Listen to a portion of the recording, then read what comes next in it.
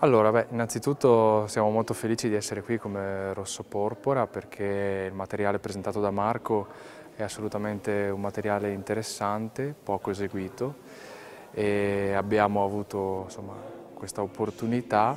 E, mh, mm, è interessante anche perché la vita dell'autore è una vita interessante, nel senso che è madrigalista italiano, diciamo, emigrato a, Londra, alla corte di Elisabetta I, di cui si dice fosse addirittura una spia.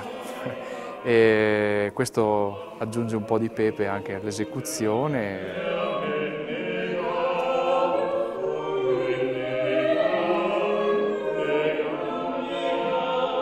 Sì, i temi trattati nei madrigali sono temi eh, d'amore, eh, interessante è questa questo gruppo di sei madrigali che facciamo che narra la vicenda di questi due amanti che sono momentaneamente separati perché ognuno eh, ha una storia con un altro, però eh, si amano ancora, si vogliono ancora, si desiderano e quindi alla fine insomma, decidono di ritornare insieme abbandonando tutto e tutti.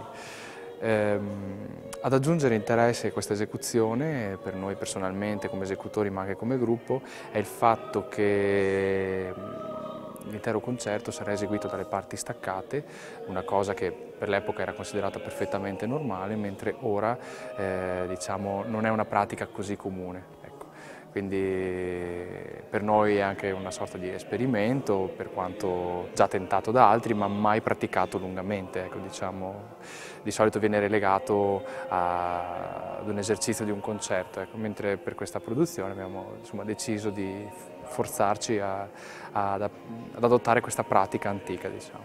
Ecco, siamo molto felici. Eh, speriamo che tutto vada per il meglio sia qui a Fabriano che poi a Utrecht. Grazie.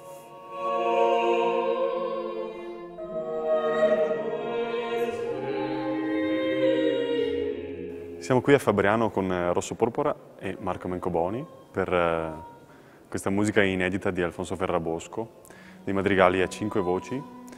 Non me li aspettavo così interessanti, sinceramente, quando li studiavo a casa in, questi, in queste settimane e, e, poi metterli insieme con delle voci come questa sera è molto interessante.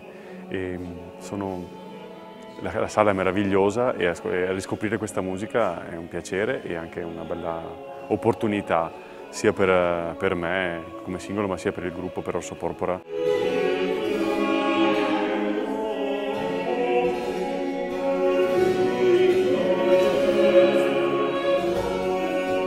Tutto questo concerto è una preparazione anche del concerto che andremo a fare a Utrecht dopodomani e siamo tutti un po' in fibrillazione per questa occasione e non vediamo l'ora di poter eseguire questa musica e proporla al pubblico tutti insieme.